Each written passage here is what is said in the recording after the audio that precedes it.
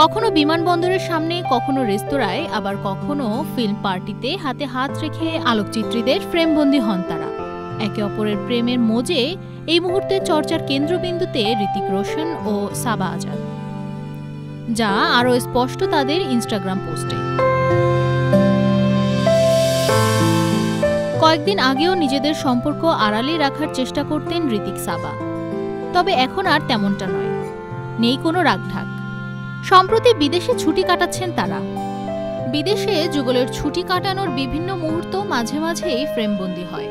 আর্জেন্টিনার রাস্তায় একে অপরের হাত ধরে হাঁটছেন, আবার কখনো বা কফি খেতে যাচ্ছেন। সম্প্রতি ইনস্টাগ্রামে নিজেদের একটি সেলফি পোস্ট করেন ঋতিক। যেখানে দেখা যাচ্ছে সল্ট অ্যান্ড পেপার লুকে নায়ক। মাথায় টুপি, পরনে লম্বা কোট, পাশে বসে সাবা। খোলা লম্বা কোকড়ানো চুল, সঙ্গে মানানসই কালো বড় সোয়েটার।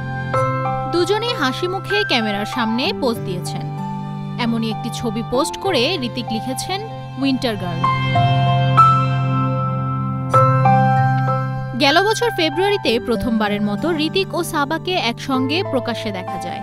তারপর থেকেই তুঙ্গে তাদের প্রেম নিয়ে চর্চা। রোশন পরিবারের সঙ্গে ইতিমধ্যেই সময় কাটিয়েছেন সাবা।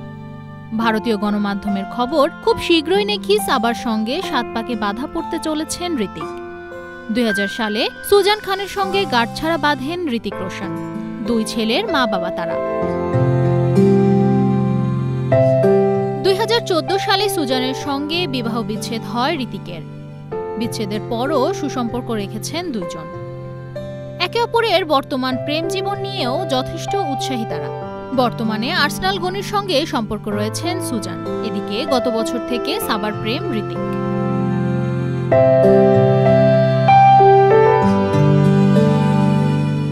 চ্যানেল এস, বিনোদন ডেস্ক।